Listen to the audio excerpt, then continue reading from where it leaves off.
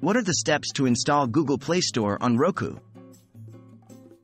Hello everyone. Today we'll be guiding you through the process of installing the Google Play Store on your Roku device.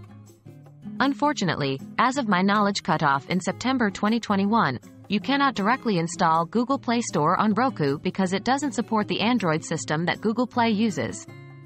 However, there's a workaround. We'll show you how to cast or mirror content from the Google Play Store on your Android or Windows device to your Roku. Is your Roku device ready? First things first, we need to ensure your Roku device is set up properly.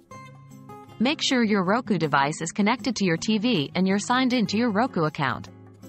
You should also check that your Roku device and your Android or Windows device are connected to the same Wi-Fi network.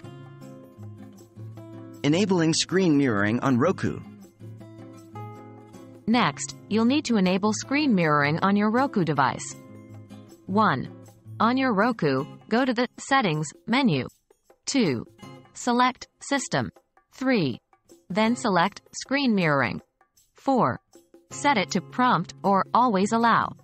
This will allow your Android or Windows device to connect to your Roku for casting or mirroring content. Casting from an Android device. Now, let's move on to how to cast from your Android device. 1. On your Android device, go to the Settings menu. 2. Select Display. 3. Find and select Cast Screen. 4. Your Roku should appear in the list of devices. Select it to connect. Once you're connected, you can open the Google Play Store on your Android device, and anything you view will be mirrored to your Roku. Casting from a Windows device. If you're using a Windows device, here are the steps. 1.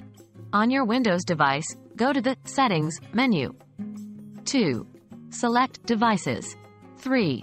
Then select Bluetooth and other devices. 4. Select Add a device. 5. Your Roku should appear in the list of devices.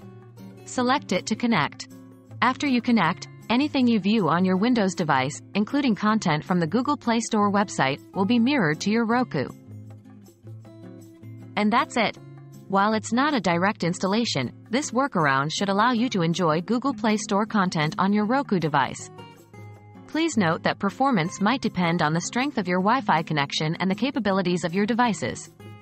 Happy streaming!